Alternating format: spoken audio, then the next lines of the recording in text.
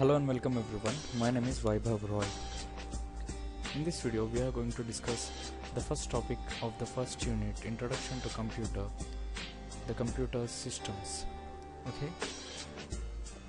What is the full form of a computer? Computer can be abbreviated as commonly operated machine, particularly used for technical and educational research, or it can also be abbreviated as computation oriented machine for processing utility trade education and research. Okay what is a computer? Computer is an electronic machine that is capable of manipulating storing retrieving and processing the user entered data. It is basically used for computing complex tasks. The two major components of a computer are hardware and software in this video, let's discuss about the hardware components of a computer. The hardware components of the computer are the physical devices that include the following five components. They are input, CPU that is central processing unit, primary storage devices, secondary storage devices and output. Input or input devices the devices that are used to insert the data into the computer are called input devices. There are various devices to do the same task. The most commonly used input devices are keyboard and mouse. Other special input devices including trackball, spaceball, joystick, dials, digitizers, data glove, button boxes, image scanners, voice systems and touch panels.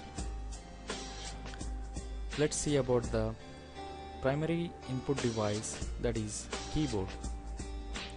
The keyboard is a primary input device that is used to give the inputs such as numeric and alphanumeric data. The keyboard is also used to enter the screen coordinates to select the menus options or graphic functions etc. on the screen.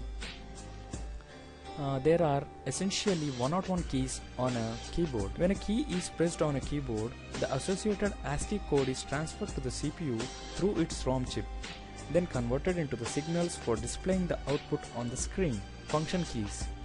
They are from F1 to F12. These keys are called function keys. They carry out specific commands. These keys are used to enter commonly used operations within a single keystroke. 12 function keys are available on the keyboard. Cursor control keys. They are also called as arrow keys. These keys are used to select the coordinate positions of the displayed object by placing the screen cursor. In addition to these keys, there are numeric pad which consists of the numeric values 1, 2, 3, 4, 5, 6, 7, 8, 9. They also consist of arithmetic operator symbols like slash, asterisk, minus, plus, dot, etc. And here are the alphabetical keys on the keyboard. These keys are used to insert the alphabetical data into the computer. This was about the keyboard. Now let's discuss about the mouse. A mouse is a small handheld device that was developed at Stanford Research Institution and it is used to position the screen cursor which look like this. It has majorly three buttons. The left button is the primary button and the middle is a wheel which is also used as a button in certain cases and the right is also a secondary button which is used to uh, select the alternative options or give the alternative inputs. This is about the mouse. This is the trackball. A trackball is a 2D positioning device that is fixed at its base that is fixed at its base and can be rotated with the fingers to generate screen cursor movements. This ball can be rotated to generate screen cursor movements. This is also known as inverted mouse. Now let's discuss about the 3D space ball or just simply space ball. A space ball is a 3D interactive device that provides 6 degrees of freedom. That means it provides up, down, right, left and freedom in z space which is this one.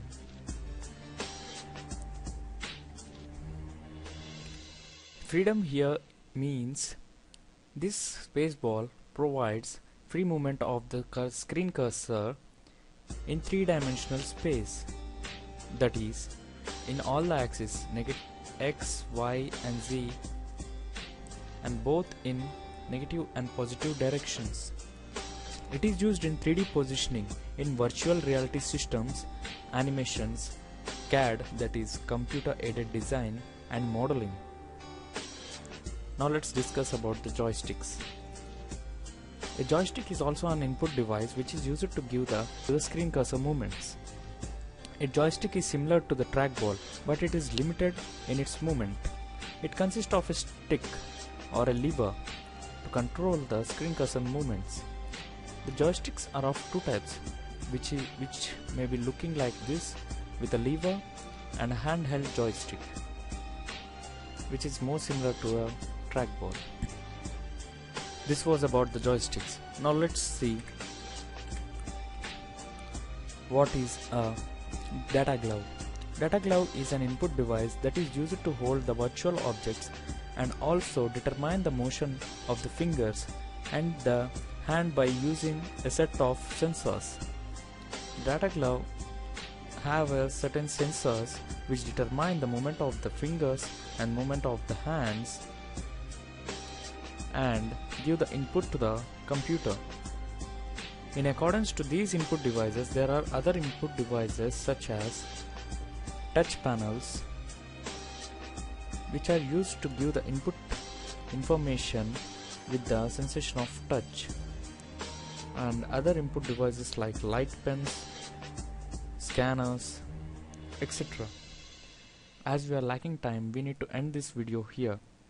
We will continue discussing about the hardware components in the next video. We are finished with input devices. Now, in the next video, we will be studying about the CPU, Central Processing Unit.